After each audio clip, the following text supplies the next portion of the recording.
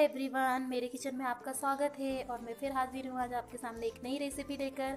अगर आप मेरे चैनल पर नए हैं तो प्लीज़ मेरे चैनल को सब्सक्राइब करें लाइक करें एंड शेयर करें और बेल आइकन को प्रेस करना बिल्कुल ना भूलें, ताकि मेरे हर रेसिपी के नोटिफिकेशन आपको मिलते रहे। तो चलिए चलते हैं, इस वीडियो को स्टार्ट करते हैं। तो देखिए, मैं बनाने जा रही हूँ आंवले की चटनी। तो देखिए, मैंने इसके लिए छः आंवले लिए हैं, पाँच से छः हरी मिर्च लिया है, छोटा सा अदरक का टुकड़ा लिया है तीन लहसुन की कलियाँ ली है और हरा धनिया लिया है। तो चलिए, अब हम इस इस आंवले को काट लेंगे। तो मैंने ये बाउल ले लिया है। इसमें मैं आंवले को काट लूँगी। आपको इस तरह से इसे बारीक बारीक काटना है।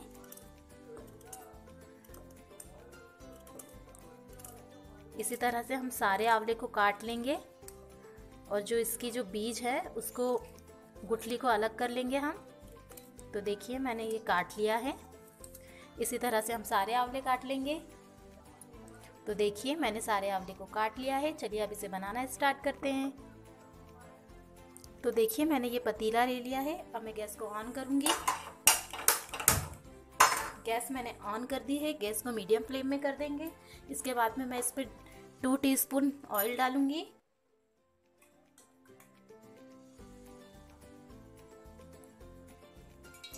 देखिए, मैंने टू टीस्पून इसमें ऑयल डाल दिया है। अब हम इसे हल्का सा गर्म करेंगे। तो देखिए ऑयल गर्म हो चुका है। अब हम इसमें आधा टीस्पून जीरा डालेंगे। अब मैं इस, इसमें जो हमने आंवले लिए थे, वो हम इसमें ऐड कर देंगे। इसको हम चलाएँगे। अब इसमें हमने जो लहसुन लिया था, वो ऐड करेंगे।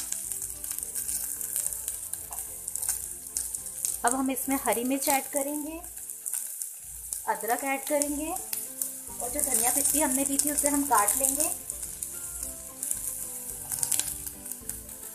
काट के हम इसमें डाल देंगे और इसे अच्छी तरह से मिक्स कर देंगे। तो देखिए, मैंने इसे मिक्स कर दिया है। आप ध्यान रखें, इसमें एल्यूमिनियम के बर्तन का यूज़ बिल्कुल भी ना करें, नहीं तो बर्तन काला पड़ जाएगा। इसलिए मैंने इसमें स्टील के पतीले का यूज़ किया है। हम इसे एक से दो मिनट मीडियम फ्लेम में ऐसे घुमा लेंगे। उसके बाद में हम इसे निकाल लेंगे। निकाल के हम इसे ठंडा कर लेंगे।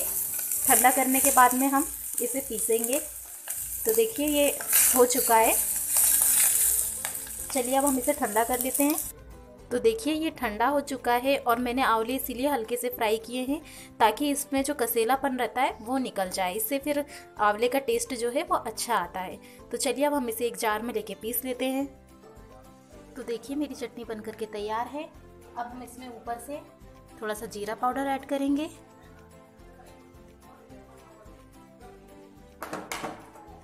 और इसमें थोड़ा सा हम स्वाद अनुसार नमक ऐड करेंगे। मैं नमक बाद में ऐड कर रही हूँ। आप चाहो तो इसे पीसते समय ही नमक ऐड कर सकते हो। अब हम इसे अच्छे से मिक्स कर देंगे। तो देखिए, मैंने इसे अच्छे से मिक्स कर दिया है और मेरी चटनी बन करके तैयार है। आप इसे ज़रूर खाइएगा। ये खाने में बहुत ही टेस्टी लगती है। मेरी बुआ जी बनाया करती थी इसे। मैंने एक बार खाया और फिर बार बार खाने का मन करने लगा।